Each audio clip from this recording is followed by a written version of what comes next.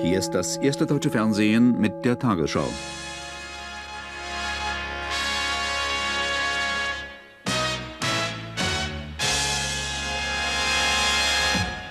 Guten Abend, meine Damen und Herren.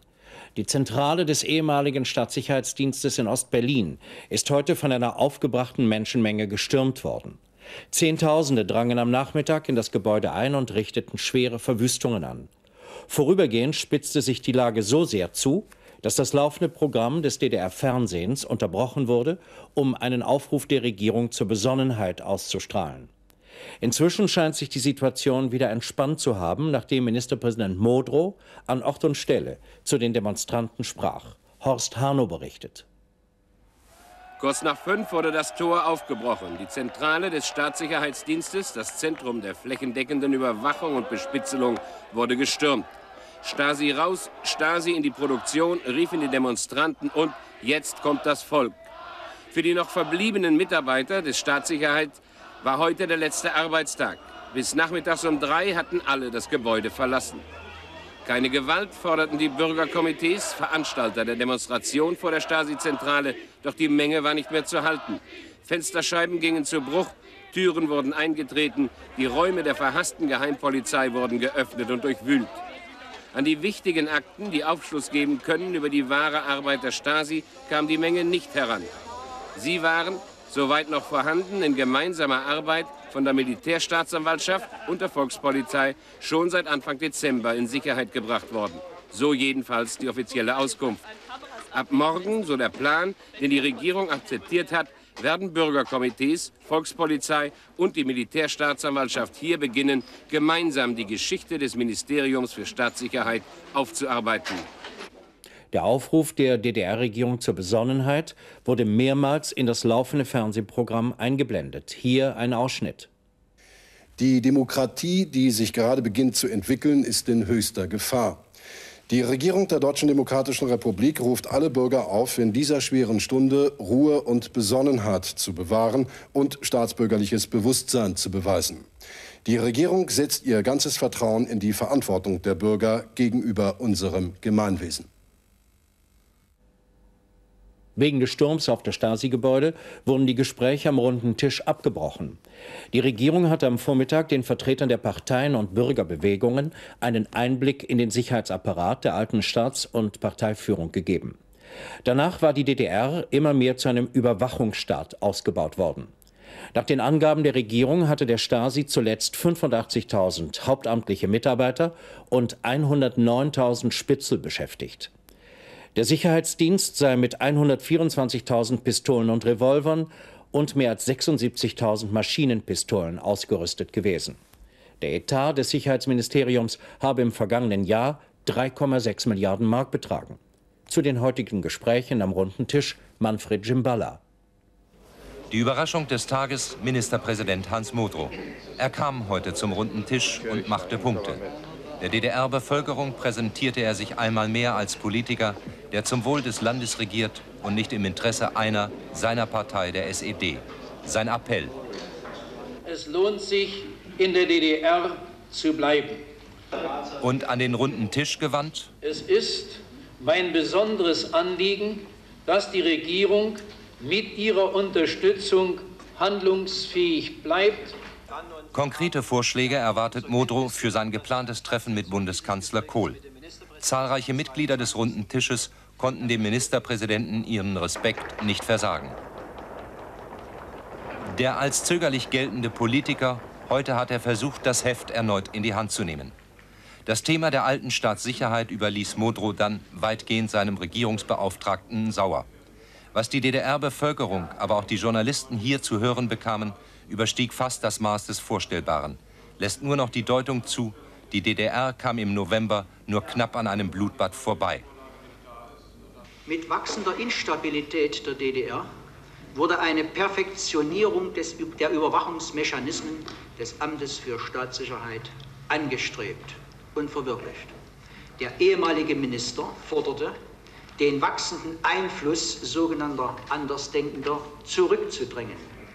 Deshalb wurde seit 1985, man muss es so sagen, eine totale flächendeckende Überwachungsarbeit angestrebt. Mitglieder von Bürgerkomitees meinten nach dem Bericht, auch heute seien nicht alle Fakten auf den Tisch gekommen. Zum Beispiel die Verflechtung der Staatssicherheit mit der SED. Um diese Verflechtung von Stasi und SED soll es in der nächsten Sitzung des Runden Tisches am kommenden Montag gehen.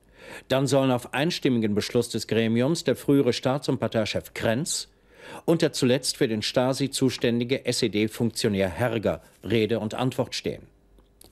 Wegen des Aufbaus des Überwachungsapparates in der DDR wurden jetzt die Ermittlungen gegen den ehemaligen Staats- und Parteichef Honecker sowie seinen früheren Sicherheitsminister Mielke erweitert. Gegen beide läuft nun auch ein Verfahren wegen Hochverrats und verfassungsfeindlichen Zusammenschlusses. Bislang wurde gegen sie schon wegen Machtmissbrauchs und Korruption ermittelt. In mehreren Städten der DDR beteiligten sich heute Zehntausende an Warnstreiks für schnellere Reformen. Für zwei Stunden legten hier in Jena etwa 30.000 Menschen am Vormittag die Arbeit nieder und versammelten sich zu einer Kundgebung. Der Protest richtete sich vor allem gegen den Staatssicherheitsdienst. Keinen Pfennig Überbrückungsgeld für ehemalige Stasi-Mitglieder. Im Gegenteil, sie sollen die Raten abzahlen, die sie eingeheimst haben.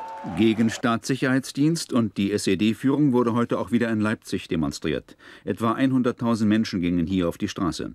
Wie bereits bei der Demonstration am vergangenen Montag wurden auch diesmal zahlreiche Rufe nach Wiedervereinigung der beiden deutschen Staaten laut.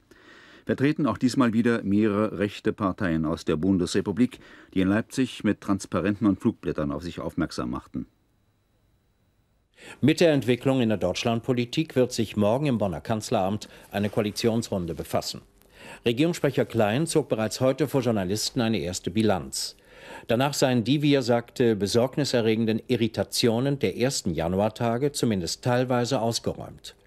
Zur Begründung verwies Klein auf den Verzicht der DDR auf einen neuen Geheimdienst, auf Zugeständnisse bei ausländischen Kapitalanlagen sowie auf die Einbeziehung von Oppositionsvertretern beim Bonn-Besuch von Ministerpräsident Modrow. Für Investitionen bundesdeutscher Unternehmen in der DDR noch vor den Wahlen am 6. Mai hat sich Arbeitgeberpräsident Murmann ausgesprochen. Im Norddeutschen Rundfunk sagte Moormann, mit dem jetzt von der Ostberliner Regierung vorgenommenen Kurswechsel hin zur freien Marktwirtschaft sei dafür die notwendige Voraussetzung geschaffen. In Bonn mehren sich die Stimmen, die eine Kürzung der sozialen Leistungen an Übersiedler aus der DDR fordern. Das SPD-Präsidium unterstützte heute entsprechende Forderungen des saarländischen Ministerpräsidenten Lafontaine. Und zur Stunde befasst sich die CSU-Landesgruppe im Bundestag mit dieser Frage. Die Bonner CSU-Abgeordneten wollen als erste Nägel mit Köpfen machen. Am vergangenen Freitag hatten sie in Leipzig nach Orientierungshilfen für die Unterstützung gleichgesinnter Parteien in der DDR gesucht. Heute Abend in Bonn wollen sie die Möglichkeiten sichten, wie man die Abwanderung von DDR-Bürgern, allein 25.000 schon in diesem Jahr, bremsen kann. Dabei geht es in erster Linie um die Neubestimmung, später vielleicht sogar um die Abschaffung des Vertriebenen oder Flüchtlingsstatus.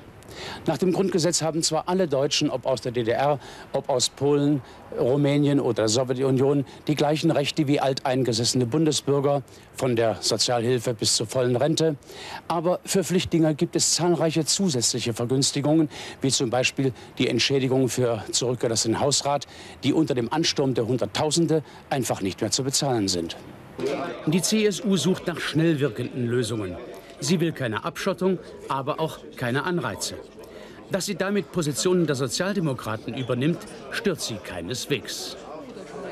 Also ich bin der Auffassung, dass beispielsweise das Wichtigste ist, dass nicht ehemalige Stasi-Mitarbeiter, denen vielleicht der Boden in der DDR jetzt zu heiß wird, zu uns kommen, um dann hier alle Segnungen entgegenzunehmen. Das halte ich für das Allervordringlichste. Übergangswohnheime stehen ja auch nicht im Gesetz. Kann das so bleiben? Äh, ich bin der Auffassung, dass wir hier zu einer Normalisierung kommen müssen. Wenn es legal möglich ist, aus der DDR wegzugehen, dann ist es auch denjenigen, die weggehen wollen, zuzumuten, sich zunächst um eine Bleibe, eine Wohnung zu kümmern, ohne dass sie Übergangswohnheime in Anspruch nehmen müssen. Aber für eine Übergangszeit werden wir es wohl noch brauchen. Die kaukasischen Sowjetrepubliken Armenien und Aserbaidschan stehen an der Schwelle zum Bürgerkrieg. Um das Schlimmste zu verhindern, so Ministerpräsident Rischkow, müsse Militär eingesetzt werden. Aus Baku, wo am Wochenende 34 Armenier einem Pogrom zum Opfer fielen, wurden heute 660 Armenier über See in Sicherheit gebracht. Im Norden der autonomen Region Bergkarabach soll die Lage völlig außer Kontrolle geraten sein. Das Präsidium des obersten Sowjet verhängt am Abend über die Region den Ausnahmezustand. Die meisten sind schon weggegangen hier. Sie haben Angst, hier zu leben. Man kann in dieser Gegend überhaupt nicht mehr leben. Es reicht uns jetzt. Wie lange soll denn das noch so gehen? Wo ist unser ZK? Wo ist unsere Regierung? Ein Glück, dass uns wenigstens die Soldaten helfen. Die Zurückgebliebenen versuchen sich, so gut es geht, selbst zu bewaffnen, nachdem immer wieder aserbaidschanische Gruppen armenische Dörfer überfallen. Jede Nacht wird geschossen. Blut fließt und die Zeit, da Verhandlungen noch geholfen hätten, scheint endgültig vorbei zu sein. Von beiden Seiten, von Aserbaidschanern und Armeniern, wird nach der Armee gerufen. Die Lage ist nicht mehr unter Kontrolle, so meldete es heute das sowjetische Fernsehen. Erst gestern wieder kamen die Spezialeinheiten zu spät, als anderthalb Stunden lang eine regelrechte Schlacht zwischen Armeniern und Aserbaidschanern stattfand, die vier Tote und mehrere Verletzte forderte. Der Einsatz der Sondertruppen wird zusätzlich dadurch erschwert, dass Aserbaidschaner versuchen, diese Einheiten zu blockieren, sodass sie Bergkarabach erst gar nicht erreichen. Die untereinander verfeindeten Aserbaidschaner und Armenier nehmen gegenseitig Geiseln, Männer und Frauen, und es gelingt nicht, sie auszutauschen. So etwas wie Gesetz hilft nicht mehr, weil niemand mehr da ist, der das Gesetz verteidigen könnte. Noch gibt es keinen Bürgerkrieg, so war heute im sowjetischen Fernsehen zu hören, mit der Betonung auf noch. Das bulgarische Parlament in Sofia hat heute einstimmig die führende Rolle der kommunistischen Partei aus der Verfassung des Landes gestrichen. Die Abgeordneten folgten damit dem Beispiel der Volksvertretungen Ungarns, der CSSR, der DDR und Polens. Zugleich wurde eine Kontaktgruppe eingesetzt, die weitere Verfassungsänderungen diskutieren soll. In Prag haben heute Verhandlungen zwischen der CSSR und der UdSSR über den Abzug von rund 75.000 sowjetischen Soldaten begonnen. Sie sind seit der Invasion der Warschauer Paktstaaten 1968 im Land. Die neue tschechoslowakische Regierung betrachtet das damals geschlossene Stationierungsabkommen als nichtig. In Bukarest hat heute Bundesaußenminister Genscher der neuen rumänischen Führung umfassende Bonner Hilfe in Aussicht gestellt. Weiteres zentrales Thema seiner zweitägigen Gespräche ist die Situation der deutschen Minderheit. Außenminister Genscher lobte Offenheit und Realitätssinn der neuen rumänischen Führung.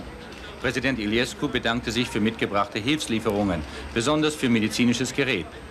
Rumänien erwartet die Wiederherstellung normaler politischer und wirtschaftlicher Beziehungen zwischen Bonn und Bukarest. Bei der heutigen Gesprächsrunde mit Regierungschef Roman und Außenminister Celak sagte Genscher auch seine Unterstützung zu, Rumänien in das beschlossene EG-Hilfsprogramm für Osteuropa einzubeziehen. Die Bundesrepublik will zum Stabilisierungsprozess in Rumänien beitragen, war in Bukarest heute wiederholt zu hören.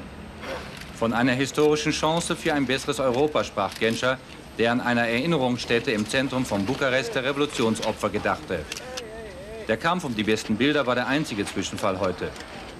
Bei der Pressekonferenz nannte der Gast aus Bonn die drei wichtigsten Ziele seines zweitägigen Rumänienbesuchs. Einmal die politische Unterstützung des Demokratisierungsprozesses in Rumänien. Zweitens die materielle Unterstützung beim Wiederaufbau des Landes. Und drittens die Verbesserung der Lage der deutschen Minderheit hier in Rumänien. Wenig Erfreuliches bekam der Außenminister von Repräsentanten der Siebenbürger Sachsen und Banater Schwaben zu hören. Rund 80 Prozent der Rumäniendeutschen, so die Schätzungen, wollen auswandern, auch nach der errungenen Freiheit. Denen, die in der Heimat bleiben wollen, sicherte Genscher verstärkte Hilfe der Bundesregierung zu. Die FDP-Führung hat sich für abrüstungspolitische Schritte ausgesprochen und dies in ihr Wahlprogramm aufgenommen. So soll die Bundeswehr auf 350.000 Mann verringert werden und der Wehrdienst auf zwölf Monate, der Zivildienst auf 15 Monate verkürzt werden. Eine weitere Forderung ist der Verzicht auf den umstrittenen Jäger 90.